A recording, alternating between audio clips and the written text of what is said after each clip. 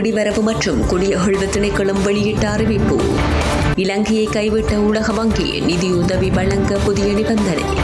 Ethanol பற்றாக்குறை மதுபான உற்பத்தியில் பாதிப்பு. வானிலையில் ஏற்பட்டுள்ள மாற்றம் வெளியானது எச்சரிக்கை. எரிபொருள் நெருக்கடியால் பேராசிரியர் ஒருவர் எடுத்த அதிரடி முடிவு. அடுத்தடுத்து தொடரும் விலையேற்றத்தால் திண்டாட்டத்தில் நாட்டு மக்கள்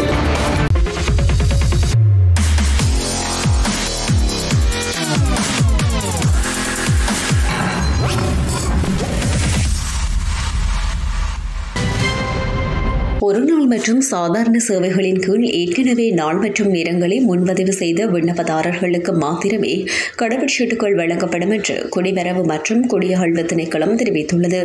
இம்மாதம் பதினேழாம் திகதி முதல் குடிவரவு குடியகழ்வு திணைக்களத்தினால் வழமை போன்ற ஒரு நாள் மற்றும் சாதாரண சேவைகளின் கீழ் கடவுச்சீட்டு வழங்கும் பணிகள் ஆரம்பிக்கப்பட்டுள்ளன. எனினும் கடவுச்சீட்டு பெறுவதற்கு ஏற்கனவே நாள் மற்றும் நேரத்தை முன்பதிவு செய்தவர்கள் மாத்திரம் வருகை தருமாறு திணைக்களம் தெரிவித்திருந்தது. இருப்பினும் பல வாடிக்கையாளர்கள் முன்கூட்டியே நாள் மற்றும் நேரத்தை முன்பதிவு செய்யாமல் சேவைகளை பெற வருவதாக திணைக்களம் தெரிவித்துள்ளது. இதன் காரணமாக முன்பதிவு செய்யாமல் வரும் அனைவரும் சிரமங்களை எதிர்கொள்வதாக குடிவரவு மற்றும் குடியகழ்வு திணைக்களம் குறிப்பிட்டுள்ளது. பொருளாதார கொள்கை கட்டமைப்பை நடைமுறைப்படுத்தும் வரை இலங்கைக்கு புதிய நிதியுதவியை வழங்க உலக வங்கி திட்டமிடவில்லை என உலக வங்கி அறிவித்துள்ளது. புதிய அறிக்கையொன்றை வெளியிட்டுள்ள உலக வங்கி இந்த விடயத்தை குறிப்பிட்டுள்ளது. இலங்கைக்கு ஒரு கடன் திட்டம் அல்லது புதிய கடன் உறுதிப்பாடுகளை முன்னெடுக்க உலக வங்கி திட்டமிட்டுள்ளதாக பல தவறான ஊடக அறிக்கைகள் வெளியாகியுள்ளதென உலக வங்கியின் அறிக்கையில் குறிப்பிடப்பட்டுள்ளது. இலங்கை மக்கள் மீது நாங்கள் அக்கறை கொண்டுள்ளோம். பொருளாதார ஸ்திரத்தன்மை மற்றும் பரந்த அடிப்படையிலான வளர்ச்சியை மீட்டெடுப்பதற்கான பொருத்தமான கொள்கைகளுக்கு ஆலோசனை வழங்குவோம். அதற்காக சர்வதேச நாணய நிதியம் மற்றும் பிற அபிவிருத்தி பங்காளிகளுடன் ஒருங்கிணைந்து செயல்படுவோம். போதுமான பெரிய பொருளாதார கொள்கை கட்டமைப்பை உருவாக்கும் வரை இலங்கைக்கு புதிய நிதியுதவியை வழங்க உலக வங்கி திட்டமிடவில்லை. சில அத்தியாவசிய மருந்துகள் வருமானமற்ற மற்றும் பாதிக்கப்படக்கூடிய குடும்பங்களுக்கு தற்காலிகமாக பணப்பரிமாற்றம் உதவி பாதிக்கப்படக்கூடிய குடும்பங்களின் பிள்ளைகளின் பாடசாலை தேவைகள் உணவு விவசாயிகள் மற்றும் சிறு வணிகங்களுக்கு ஆதரவாக போன்ற விடயங்களில் அரசாங்கத்திற்கு உதவுவதற்கு முன்னர் அங்கீகரிக்கப்பட்ட திட்டங்களின் வளங்களை நாங்கள் தற்போது மீண்டும் உருவாக்குகின்றோம் என உலக வங்கி வெளியிட்டுள்ள அறிக்கையில் மேலும் குறிப்பிடப்பட்டுள்ளது. மதுபான உற்பத்திக்கு தேவையான பாதுகாக்கப்பட்ட எதனால் ஸ்பிரிட் இருப்புகள் இல்லாததால் எதிர்காலத்தில் மதுபான உற்பத்தி பாதிக்கப்படும் என கலால் திணைக்களம் தெரிவித்துள்ளது. ஆண்டுக்கு முப்பத்தி ரெண்டு தொடக்கம் முப்பத்தி நான்கு மில்லியன் லிட்டர் ஸ்பிரிட் மதுபான போத்தர்கள் தயாரிக்கவும் மேலும் மூன்று மில்லியன் லிட்டர் ஸ்பிரிட் மருந்து தின்னர் உள்ளிட்ட மருந்து பொருட்களுக்கு தேவைப்படுவதாகவும் திரு குறிப்பிடப்பட்டுள்ளது.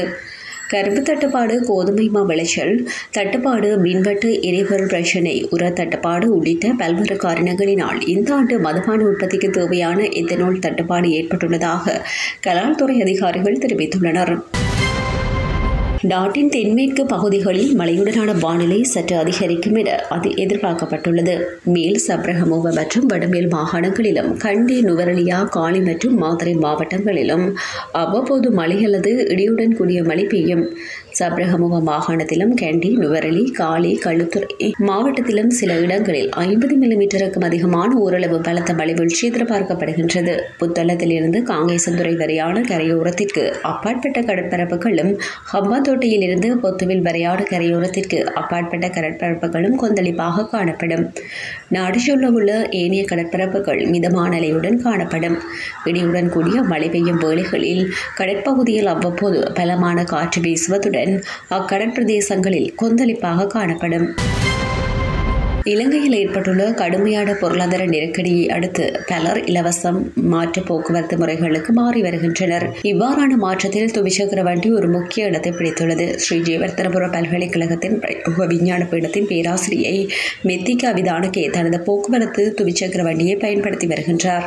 இன்று முதல் தனது பயணத்தோடன் துவிச்சக்கர வண்டி தான் என தனது முகநூல் பக்கத்தில் பதிவிட்டுள்ளார். இது தொடர்பில் அவர் மேலும் தெரிவிக்கையில் எரிபொருளுக்காக நீண்ட வரிசையில் நிற்பதால் நேரத்தை இழப்பதை கருத்தில் கொண்டு தான் துவிச்சக்கர வண்டியை பயன்படுத்துவதாக அவர் தெரிவித்துள்ளார். அது தனக்கு நிறைய நேரத்தை மிச்சப்படுத்தும் எனவும் கூறியுள்ளார். பல்கலைக்கழகத்தில் வேலை செய்வதற்காக சுமார் ஐந்து கிலோமீட்டர் தூரம் துவிச்சக்கர வண்டியில் சென்றதாக பேராசிரியர் கூறியுள்ளார். எரிபொருளை வழங்குவதற்கான முறையான வழிமுறை அறிமுகப்படுத்தப்படாவிட்டால் மக்கள் வரிசையில் நிற்பதால் இழக்கப்படும் நேரத்தை மிச்சப்படுத்த முடியும் என சுட்டிக்காட்டியுள்ளார். எரிபொருள் விலை அதிகரிப்பால் சோறும் பார்சல் மற்றும் கொத்துரொட்டி விலையை பத்து வீதத்தால் அதிகரிக்க தீர்மானித்துள்ளதாக அகில இலங்கை உணவக உரிமையாளர்கள் சங்கம் தெரிவித்துள்ளது. எனினும் சோட்டிஸ் பலகாரங்கள் மற்றும் தேநீர் விலைகள் அதிகரிக்கப்பட மாட்டாது என மீன்பிடி சங்கத்தின் தலைவர் அசில் சம்பத் தெரிவித்துள்ளார். அதேவேளை இன்று முதல் எரிபொருள் விலை மற்றும் போக்குவரத்து கட்டணமும் அதிகரிக்கப்பட்டுள்ள நிலையில் மக்கள் வாழ்க்கை செலவை சமாளிக்க பெரும் திண்டாட்டத்தில் உள்ளனர்.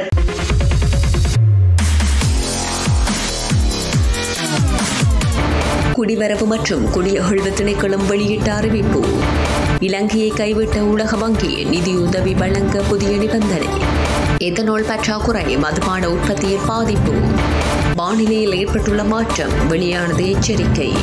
எரிபொருள் நெருக்கடியால் பேராசிரியர் ஒருவர் எடுத்த அதிரடி முடிவு. அடுத்தடுத்து தொடரும் விலையேற்றத்தால் திண்டாட்டத்தில் நாட்டு மக்கள்